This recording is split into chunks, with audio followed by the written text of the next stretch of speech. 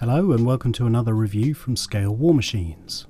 This time we've been sent some really fantastic modelling tools from Historex agents and they're manufactured by RPToolz. And this is their collection of magnetic handles. As you can see there's three different references here that we've been sent. We've featured a lot of RPToolz products before in other videos and they're always excellent quality. This is a very simple tool, but it's extremely effective. It gives you a very easy way to handle your models. The system uses a Perspex baseplate, a contoured handle, and magnetic discs, including steel discs that you can get separately. Each box, however, comes with at least 10 of them. It makes for a handy little collection of tools. The references are as follows. RP Mag 50 is a slightly smaller tool, ideal for 148 scale tanks or military vehicles. RP Mag 60 is bigger and is perfect for 135th scale kits.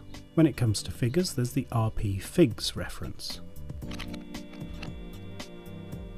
Let's start with the reference we've used the most, which is the one for figure painting. As you can see, it comes with an anodized aluminium handle in a yellowish gold colour. It allows you to attach a figure or a head of any scale onto the column and you can use it for painting and for general handling. The contoured handle is excellent and allows you to grip it very firmly. There's a collet and a chuck for attaching your figures. The same contoured handle is available on the magnetic versions. And there you can see the 10 or so steel discs that come with each box. Again, this is nicely engineered and very high quality. The Perspex base plate, on the other hand, is very stable. You also get some instructions to guide you in the whole process. You either glue or place the steel discs inside your model and then the handle grabs them with a strong magnetic pull. You can see how the 148 scale or RP Mag 50 is slightly smaller than its bigger brother and here you can see all three aligned.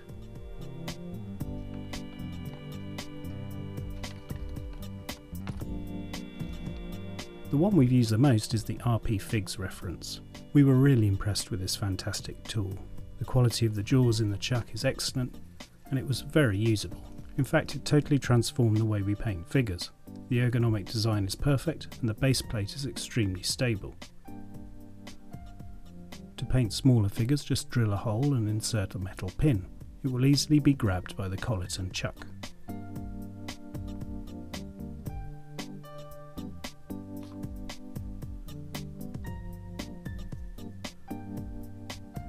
Jaws will easily hold slightly thicker diameter pieces of wood or metal.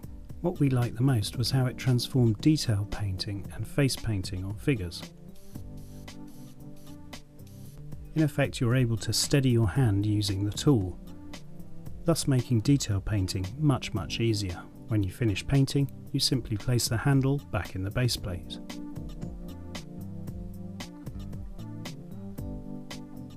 If you're an armour modeler these tools are excellent also.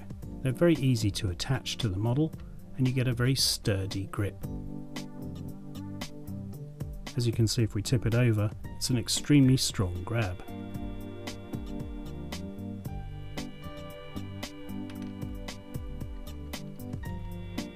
If you want to detach it, it's just a case of exerting a bit more force to break the bond.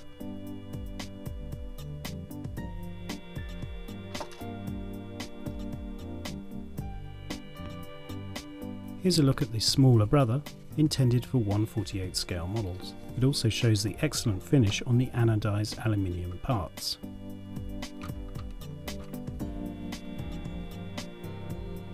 If you're building a model with no interior, you can easily just glue the steel discs to the bottom of the kit. It makes it perfect for spraying at a nice height, but also you can use it for construction or adding detailed parts like photo etch.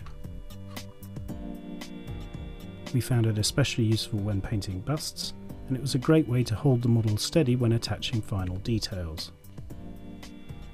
All in all, this is an excellent product.